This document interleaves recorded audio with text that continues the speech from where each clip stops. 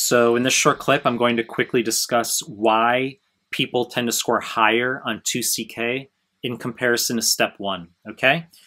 So before we get started, allow me to be an asshole like I usually am and tell you to subscribe to my channel. I really appreciate it. Hit the like button.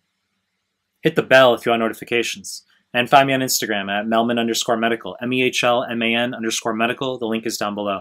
And find me on Telegram. Recently created a Telegram group and channel. The links are down below.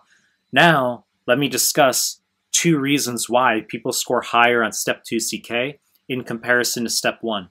And the first reason is people simply learn from their mistakes studying for step 1.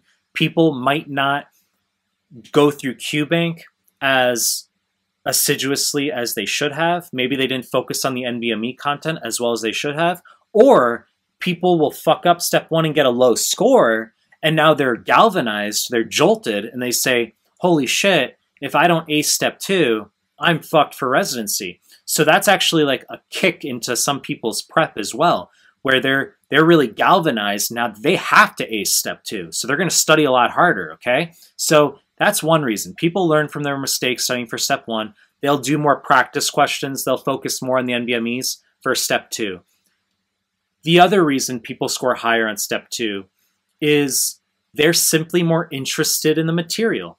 Because I can tell you, the step two questions, they are not easier than step one. They are way harder. People have different opinions. Some people will say, no, I thought step one questions are harder. They're not, okay? The questions for step two, the stems are way longer.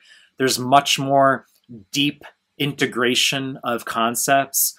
The step two vignettes absolutely are more difficult. And this is coming from me tutoring step one and step two every day for the past nine and a half years, okay? Step two questions are a lot harder. It just happens to be the case, and this is my observation.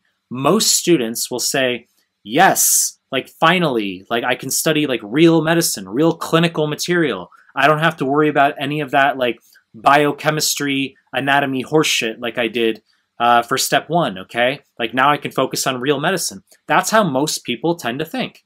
I was the opposite. I thought step one was more interesting. I hated studying for step two. Okay, that's me, but I'm not most people. So people tend to score higher on step two because they study better for it, more effectively for it. They learned from their mistakes for step one.